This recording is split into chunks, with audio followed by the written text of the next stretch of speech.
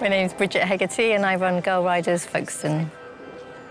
Skateboarding is such an amazing sport. Yeah, it's seen as an extreme sport, but you take it on the level that you want to experience it. The emphasis is on girls. It's not exclusive, so I'm not saying it's not for men or boys.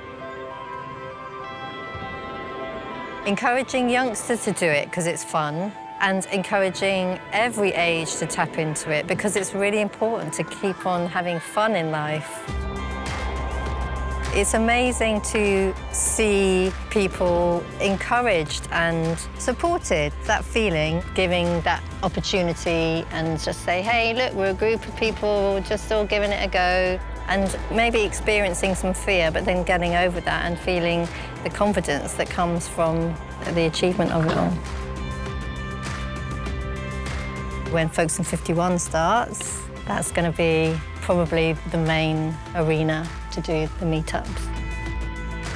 My name's Laurence. I'm the Chief Executive of Shepway Sports Trust, who is the charity that will be managing and overseeing Folkestone 51 once it opens.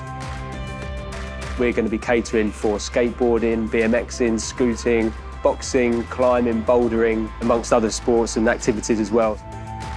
This is a huge, multi-million pound international standard facility. This is obviously predominantly for local people, but we are absolutely hell-bent on getting the most elite skaters, elite BMXers and so on to come and experience this park. But also, I think it's quite unique in the sense that it's actually multi-storey. I don't think there's many parks at all around the world that can boast that. I'm personally incredibly excited to use the facilities. As someone that grew up in Folkestone, skateboarding around the local area, I cannot wait for it to open.